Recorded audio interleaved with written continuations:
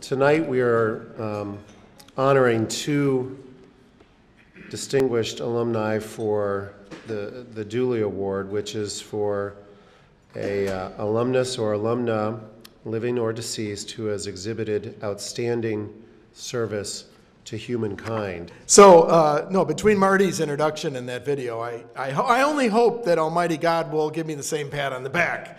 But I, I want to thank Almighty God for the opportunity, really, to be engaged in this kind of work. I've, I've told people over the years that sometimes I had to pinch myself because I, I just couldn't imagine that I was in the position to be able to serve this way. And I have to say that, you know, I really want you to take home tonight, at least for me, and not so much for Peter, but for me, I'm a professional at this. This is what I'm quote unquote paid to do is to do service, you know, as a as a priest in the church. That's why you folks put money in the collection basket, is so that we will do this kind of work. So, you know, it's it's great. It's great to get this award, but let me try to turn it into something that you folks can take back to other alums, uh, as I hope we do every year, and holding up the example of service is so important. And in my case, I, I'll just make two comments. Um, First of all, I want to thank uh, uh, Dolly's assistant for uh, giving me a fifth degree because my little placard here says Father Thomas Streit 88.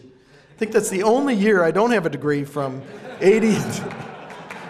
so I, I gave her the fourth degree and then she gave me the fifth degree. So would you thank her for me? But in any case, degrees notwithstanding, um, you know, again, service is what we as clergy are about. So, again, I don't know that I should get this award except to say, let me highlight two points. And one is that being at a university allows our service work and your affiliation with the university, which especially the clubs do in a, in a very unique way, where people, as I've learned out going around around the country, some clubs have more non Notre Dame alums than they do Notre Dame alums.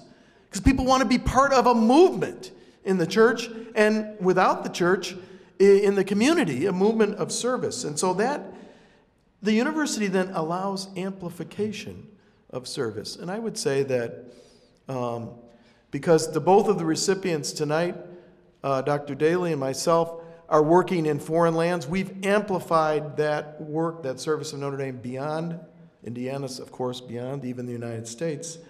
But I would say that for my part, working at a university where we're exploring the, the most efficient, the cheapest, the, the most effective ways to eradicate disease, that that model then, that what we've done right anyway in Haiti has been adopted in 50 some other countries. We were at the forefront of this campaign to eradicate. And so just think about how that amplifies things. The university has the power to amplify the delivery of service in that way. And that's through, through our research apparatus. You know, a lot of people say, what is the research? The research, you know, research for research sake. No.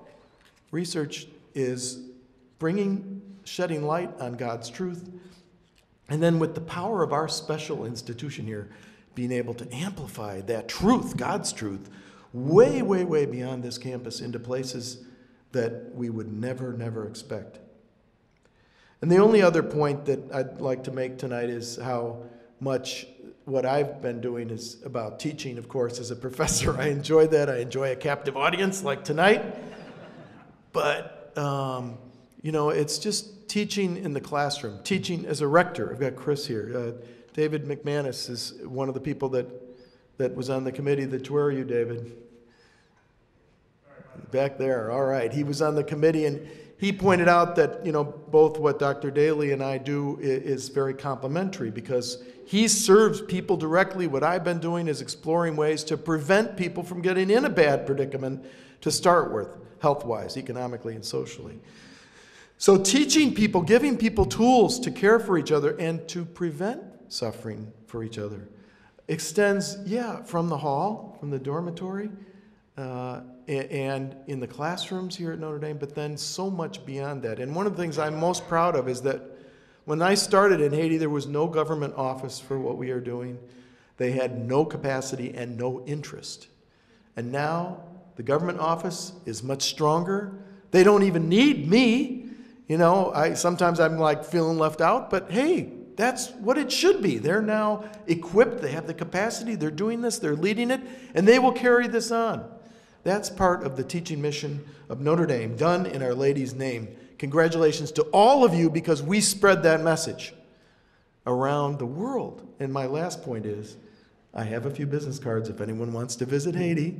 Don't forget, Emo's army is still active. Amen.